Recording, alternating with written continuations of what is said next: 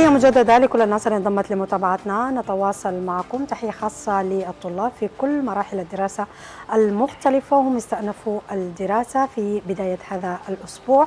من خلال هذه الفقرة سنتحدث عن صعوبة التعلم عند الأطفال تحديدا ومن حيث الإدراك والكتابة والقراءة والفهم والتركيز وما إلى ذلك. تفاصيل أوفى من خلال ضيفنا الموجود معنا داخل الاستوديو. بنرحب جدا بدكتور حسن سليمان آدم النور اختصاصي نفسي. أهلا وسهلا. ومرحبا بك يا دكتور. منورنا. مرحبا بك أستاذة فاطمة ومرحبا بك أستاذ صديق. وتحية طيبة لكم ولكل متابعي قناة النيل الأزرق. وسعيد جدا بالإطلالة عبركم حبابك ألف ومنورنا الليل عبر المساء الجديد. ودائما المواضيع لما ترتبط بجيل المستقبل بيبقى من الضرورة بمكان إنه الناس تتوسع في في الموضوع. لكن زي ما بقولوا نحن مساحتنا يعني صغيرة لكن بنحاول نستفيد منها نطرح مجموعة من الأسئلة المهمة اللي بتخاطب الأسر اللي بتتابعنا الآن باعتبار إنه الطفل هو مفترض يتعلم حيتعلم بواسطة الأسرة. خلينا أبدأ من النقطة دي وبعد كده ندخل في تفاصيل الحوار. طيب وهي ممكن واحدة من الشرائح المهمة جدا ويمكن خصوصا موضوع حلقتنا الليلة. إنه أي بيت موجود فيه واحد أو اثنين من الفئات ذوي صعوبات التعلم لكن ما مكتشف. نعم. أو ما معروف. بتبدأ الحاجة دي بتعريفها ذاتها بأنها هي إعاقة خفية. بدأ ظهورها مع ظهور النتائج مع شكاوى المعلمين مع ملاحظات الأم أثناء المراجعه انه ولدها ما بيقرأ ما بيكتب ما بيلاقي صعوبة في في الحاجات دي. فبيبدا بعد ذاك معاناة الأسرة في انها تلقى الحل وين خصوصا إنه الحاجة دي محتاجة لناس متخصصين نعم. في التربية الخاصة ويقدروا يأدوا والفئه دي من الفئات المظلومة شديد. بحيث إنه الآخرين كلهم أو الناس بيعتقدوا إنهم هم آه ما عندهم المقدرة على التحصيل ما عندهم المقدرة على إنهم يأدوا. ده كويس. لكن لما آه يتم تحويلهم لقسم الاحتياجات الخاصة وإجراء القياسات لهم بيظهر إنهم هم عندهم قدرات عالية جدا. تبدأ الصعوبة في إنك أنت كيف تقدر تقدر تكتشف هي شنو تبدأ في في عملية الحل نعم. بالنسبة لها 200 نبدأ يا دكتورة اكتشاف الطفل يعني في ناس بيكون عندهم صعوبة في الكتابة في ناس صعوبة في القراءة في التركيز أكيد. في الإدراك حتى في الانتباه بيكون عندهم صعوبة أكيد. السن اللي إحنا لازم نكتشف فيها ال ال الطفل أي من الأعمار أيوه ده ده بيورينا إنه في نوعين من صعوبات التعلم طيب. اللي هي بيسموها الأولى الصعوبات النمائية ودي في السن ما قبل الأكاديمي أو ما قبل المدرسة خصوصا متعلقة بالروضة متعلقة بسنين الحياة الأولى من ضمنها الألعاب شكل الألعاب وده بيخليني أركز لإنه في وقت من الأوقات الأجيال السابقة كانوا بيلعبوا الألعاب البلدية دي. دي عندها دور ومفعول كبير جدا في إنه تعد الطلاب دي أو تعد التلاميذ أو الأبناء دي لأنهم لما يدخلوا المدرسة يكونوا جاهزين ومستعدين. نعم. وده بيورينا إنه في تعريف حقيقي لإنه صعوبات التعلم بيكون فيها خلل في واحدة من نعم. العمليات الأساسية الأولية المتعلقة بالانتباه والألعاب البلدية بتاعتنا يا أخواننا بت بتساعدنا على إنه ننتبه. نعم. بي آه بتساعدنا برضه في مسألة الإدراك إنك أنت تدرك الموقف اللي قدامك عشان تقيم وتبدأ تحل. في المشكلة اللي قدامك فالنمائية دي بتكون في السنين الأولى في الخمس سنين الأولى الست سنوات نعم. لحد سنة ثالثه سنة أساس. وهي في الأساس تلقينية. أولى وثانية وثالثة تلقين هم بيحفظوا هكذا. لكن بتبدأ المهارات العميقة بعد رابع وانت ماشي لفوق. نعم. هنا بيجينا النوع الثاني من الصعوبات اللي هي بيسموها الصعوبات الأكاديمية. الصعوبات الأكاديمية متعلقة بجانب قرائي. يكون في ضعف في مسألة بتاعت نعم. إدراك الحروف ومفهومه ومدلول الحرف. يعيدوا له كذا مرة وما يستوعبوا وما يدركوا. يبقى تلقائيا حيأثر على المهارة اللي بعديه حركات الحروف المدود وغيرها من الحاجات. ده متعلق بجانب القرائي وهكذا بتتوالى على مسألة الصعوبات الأكاديمية. نعم. عشان كده عندها سن مرحلتين. المرحلة الأولى فيما قبل الأكاديمي والمرحلة الثانية بعد ما يتلقى مهارات أكاديمية ممتاز جدا. طيب دكتور حسن خليني أمشي برضه لنقطة أفتكر إنها هي من النقاط المهمة اللي بتخاطب الأسر الآن بتتابعنا. هل في أسباب حقيقية انه والله يا أخي الطفل ده يكون عنده صعوبة في التعلم؟ أم هي أسباب ربانية يعني ولد بها الطفل؟ طيب. واحدة من الحاجات برضه اللي أشارت لها الدراسات إنه مسألة صعوبة التعلم ما عندها سبب محدد واضح نعم. نقدر ناخذ يدنا عليه لأنه إذا اخذتنا يدنا عليه السبب معناها عالجنا نعم. لكن هي مجموعة متعددة من الأسباب ومختلفة كل حالة عن الحالة الأخرى. نعم. طيب اولى الأسباب اللي الناس أشارت ليها بيقولوا إنه في مرات في عيب في نمو نمو الدماغ الخلايا بتاعت الدماغ خصوصا إنه الطفل لما يتولد في أي آه، في يتم تكوينه يبتدي تكوينه هو في بطن أمه بتتكون بلايين الخلايا الغير متخصصة. لأنه يا دوبك بتبدأ بعد شوية كل ما كبر وزاد نموه تبدأ الخلايا دي تاخذ تخصصية أكثر أثناء العملية دي بيحصل مرات تداخل بيحصل مرات خلط أو مشكلة في نعم. في في واحدة من الخلايا دي ده بيقودنا لإنه إنه هو مولود أو هو ربنا خلقه بقدرة عالية على الذكاء لكن العملية بتاعت الخلل في في الخلايا الخلايا العصبية هو اللي ساعد في إنه يكون في صعوبة ووقف عملية الأداء الأكاديمي العالي نعم.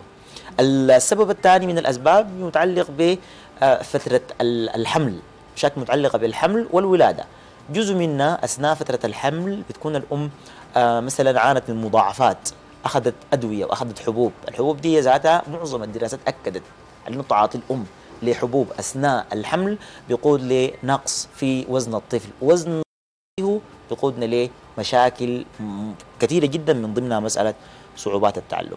دي دي السببين. السبب الثالث وده موجود الآن في مجتمعنا السوداني مسألة ال- بنسميه إحنا الأسباب البايوكيميائية. دي متعلقة بالأصباغ الموجودة في الأطعمة والحلويات اللي بيتناولوها الأطفال. لا حول عشان كده الآن في معالجتنا للمساله نحن بنوقف أول حاجة تعاطي الحلويات والسكريات المواد الحافظة والشوكولاتات. والمواد الحافظة بشكل كامل. فيما يتعلق بمسألة الأسباب. نعم. نعم نعم جميل. قاعد تاكل شوكولاته أنا خلاص كبرت يا صديقي. أنا خلاص كبرت. لكن يا دكتور يعني ال- الجانب النفسي أعتقد برضو ممكن يلعب دور يعني أحيانا بيكون في خلل أسري سواء كان مشاكل أسرية.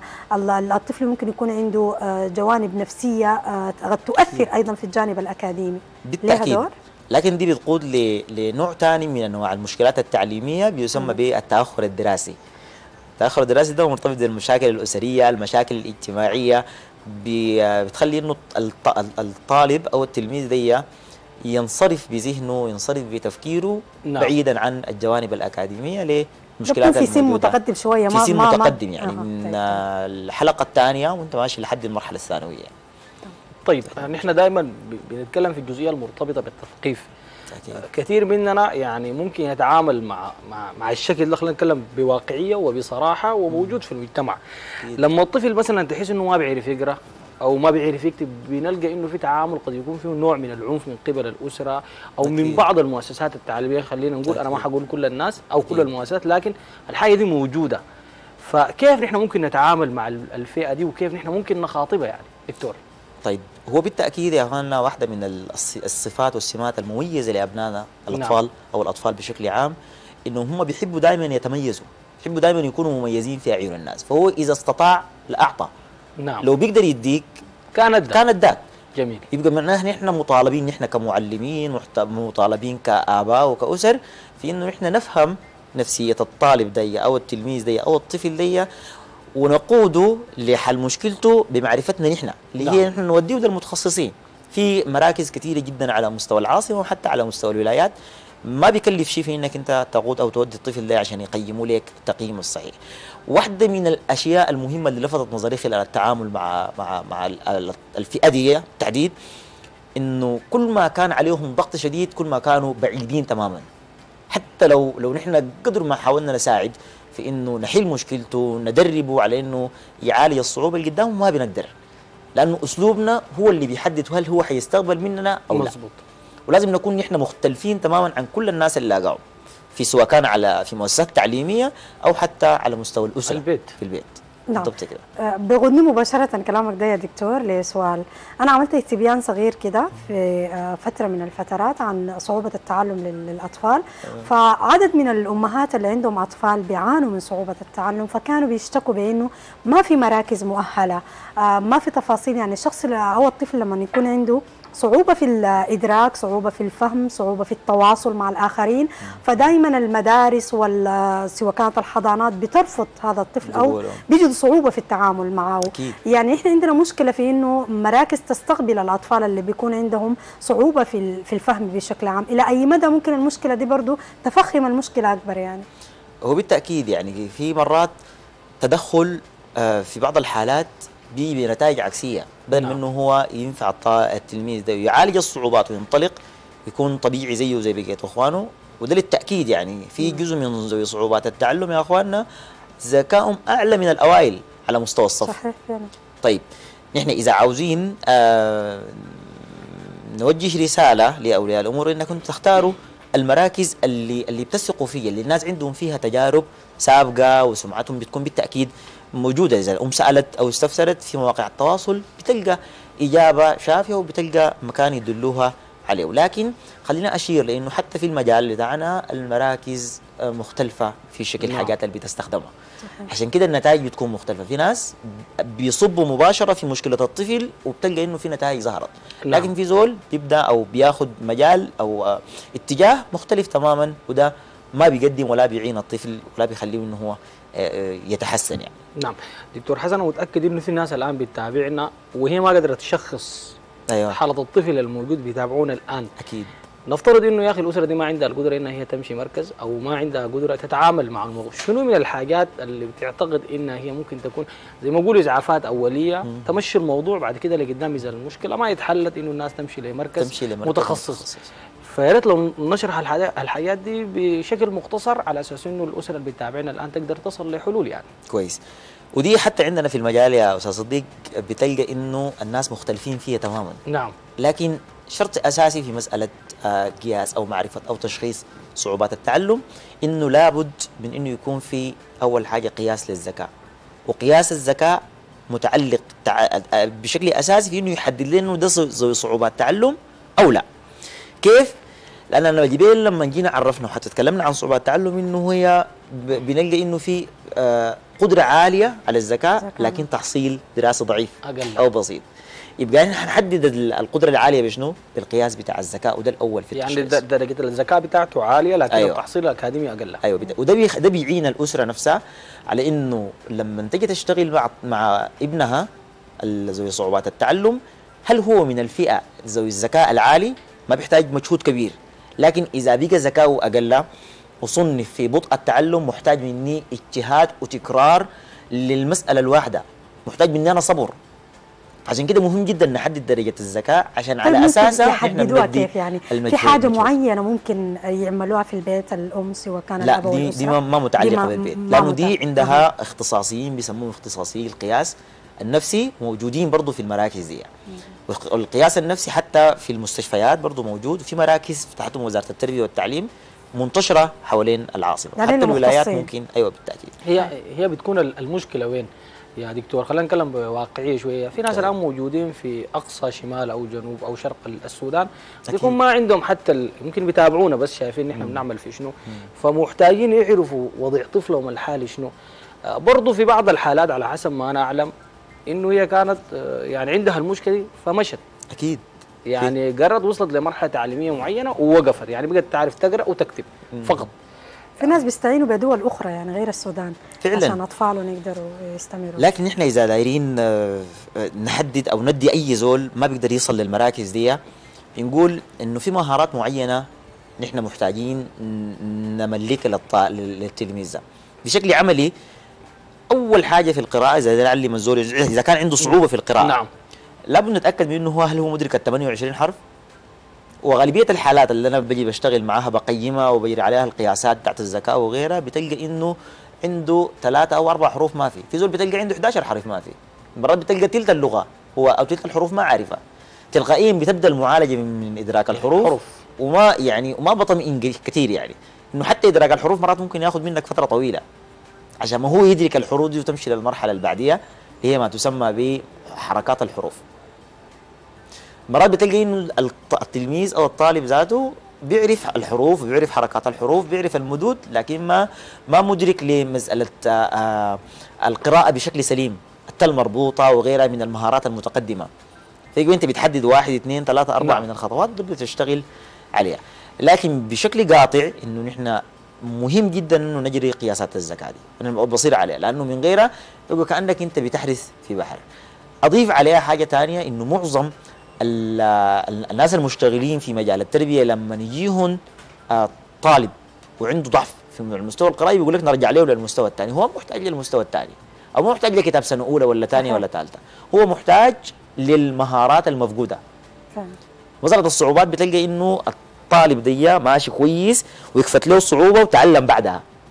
يبقى إحنا لازم نحل الصعوبة دي عشان يواصل هو تعليمه ويمشي نعم. بشكل كويس. يعني نقدر نقول يا دكتور إنه ما في طفل بليد. أحيانا لما الطفل يكون ما عنده تركيز أو ما بيعرف يكتب يقول لك انت أنت بليد. ودي برضه جانب نفسي آخر يعني بالنسبة للطفل كيف يدركوا الأسر بأنه هو الطفل ده ما بليد لكن عنده مشكلة ما في التركيز؟ ودي دي واحدة من الأخطاء اللي اللي موجودة في مجال التربية بشكل عام في السودان. يعني الليلة ربنا لما خلق الذكاءات المختلفة دي كلها خلقها لأنه كل ذكاء بيكمل ذكاء إذا أخذنا الليلة العباقرة والموهوبين هم على مستوى آه، ذكائهم بيطلع في شكل أفكار وإبداع. لكن ابداعهم ده زي الذات اللي جابوه خليهم ينفذوه على أرض الواقع ما بيقدروا. بيجي بينفذوا ذوي الذكاء المتوسط. وذوي الذكاء المتوسط لما ينفذ المهام المعينة اللي طلعها الزول المبدع ده في جزئية معينة ما بيقدر عليها إلا ذوي الذكاء الاقل من المتوسط. ده اللي قد يكون بعيد في المجال بتاع التعليم. زي ال- الذكاء العملي زي نعم. الورش زي الكا زي غيرها الذكاء المتوسط ما بيقدر على الحاجة دي. نعم. لكن بتلقى زول ذكاء أقل من المتوسط مبدع. نعم. لأنه ده ربنا خط قدرته هنا. عشان نعم. كده كل القدرات وكل ال- ال- الجوانب الذكائية وغيرها هي بتصب في مجال واحد إنها تطور البشرية بشكل عام. نعم. عشان كده ما في فكرة بتاعت إنه زول غبي وزول آه، ذكي. دي حاجة عفى عنها الدهر يعني طيب الدهر يعني. يا, دكتور بنلاحظ إنه في بعض الأطفال بيكونوا يعني متميزين. مثلا في مادة معينة في الرياضيات أو في أي مادة من المواد. لكن بالمقابل الآخر من إنه عندهم مشاكل كبيرة جدا في المواد الأخرى. هل ده برضه ممكن الناس تعتبره إنه هو يعني مشاكل بتاعت آه، صعوبة في التعلم. بالتأكيد. إحنا لما جينا صنفناها تكلمنا عن إنه في صعوبات قرائية. نعم. في زول بتلقى عنده ما عنده صعوبة قرائية لكن الحاجة القرايه دي ما بيقدر يكتبها. عنده صعوبة دي كتابيه كثيرة صراحة. موجودة جدا كثيرة جدا. نعم. وأنا خلينا أشير إنه برضو جزء من أسباب المشكلات الأكاديمية ال- الحنان الزايد والمحبة الزايدة من الأمهات اللي بيحموا بها أولادهم ما بيخلوهم يقوموا الدلع يعني. بالضبط. ما بيخليهم يقوموا بمهام المهام اللي بيقوموا بها ال- ال- ال- الأولاد في عمرهم يعني. عشان كده إحنا لما نجي نعالج إحنا بنعالج يا أستاذ صديق بنعالج بالحاجات البلدية. نعم. نعالج بالالعاب البلدية بتاعت شدات الألعاب بتاعت أم الحفر الاركه بتاعت البنات يا هندي. دي بتعالج بها المشاكل يعني. وجزء برضه من الصعوبات مرات بتلقاه إنه هو ما عنده مشاكل قرائية ولا عنده مشاكل كتابية. لكن مشكلته الأساسية في الحساب في العملية بتاعت الحساب. وعملية الحساب نفسها متعلقة بإنه الكم ما بيقدر يدي الأشياء مقدار معين. يعني حتى بتلقاهم كبار لما يديك مواعيد يقول لك أنا بجيك الساعة 4 بيجيك الساعة 4 ونص. صح. ال ال ال ال ال النسوان والبنات يا أستاذ صديق برضه بتلقاها بيزيد الملح. دي مسألة بتاعت تقدير كمي. آه، فاطمة دي غايته ما ترجع قاعدة. بتلقي إنه فاطمة دي ما قاعدة تزيد. الملح غايته. حتى لو زدته عندي حال خاص كده. أيوه بتلقى إنه جزء من المشكلات الحسابية وحتى القدرة الحسابية الناس بتتكلم عن إنه ما هي عبارة عن أرقام نحن نجمعها ونطرحها القدرة الحسابية دي بتطلع لل... لل... للناس برا في شكل نعم. يعني شخصيتك وإظهارك لإمكاناتك وتقديرك للزمن وتقديرك للأشياء وغيرك والحسابات اللي أنت بتجريها دي دي دي كلها محتاجه المقادير. ل- لتفاصيل كبيرة وتوعية. كبيرة أيضا في نفس بالتأكيد. الوقت. ختاما نحن في ختام هذه الفقرة مرت سريعه لكن المعالجات الممكن تحصل سواء كان للأسر سواء كان للمختصين سواء كان للأساتذة أيضا في ال- المدارس. حاجة كده كبسولة سريعة عليهم ختام هذه كويس. الفقرة. إن كان بمعالجة نحن بنرمي الحاجة دي على المسؤولين.